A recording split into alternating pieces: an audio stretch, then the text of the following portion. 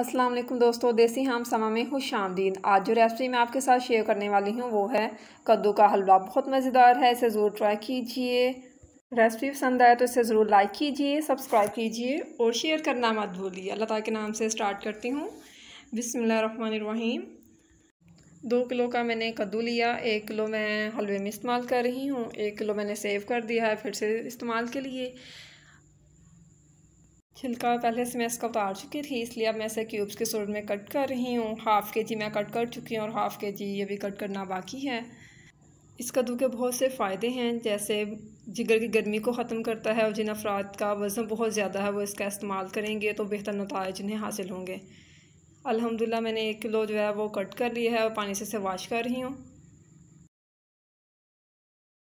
मैंने एक बर्तन लिया है, हाफ़ जग इसमें पानी का ऐड कर रही हूँ।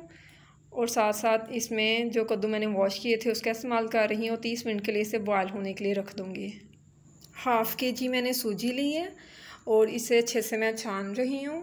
छानने के बाद इसे मैं अलग दूसरे बर्तन में ऐड कर रही हूँ और एक पाव ऑयल का इस्तेमाल इसमें कर रही हूँ।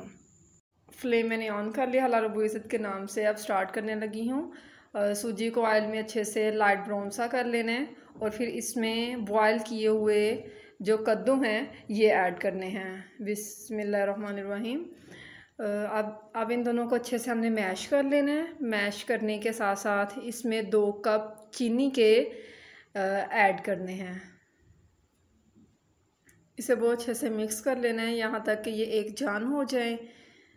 आप देख रहे हैं कि बॉयल बहुत अच्छे से आना स्टार्ट हो गए हैं। जैसे ये मिक्स हो जाएँगे तो हमारा जो हलवा है वो तैयार हो जाएगा। माशाल्लाह, बहुत अच्छा इसका कलर आ चुका है। अब हमने इसे बहुत अच्छे से मैश कर लेना है कि ये एक जान हो जाए। आप देख रहे हैं तो बहुत अच्छे से जो है मिक्स हो चुका है। अब इसमें हम मेवा जात का इस्तेमाल कर रहे हैं और इसे डिश आउट करने लगे हैं। अल्हम्दुलिल्लाह, अल्लाह ताला के हुक्म से आज की हमारी ये रेसिपी मुकम्मल हुई। बहुत जल्द आपके साथ फिर से मुलाकात होगी एक नई रेसिपी के साथ। अब तक के लिए अपना बहुत सा ख्याल रखिएगा, दुआओं में याद रखिएगा और मेरे चैनल को ज़रूर लाइक सब्सक्राइब और शेयर कीजिएगा। अल्लाह हाफिज़। पाकिस्तान, जिंदाबाद।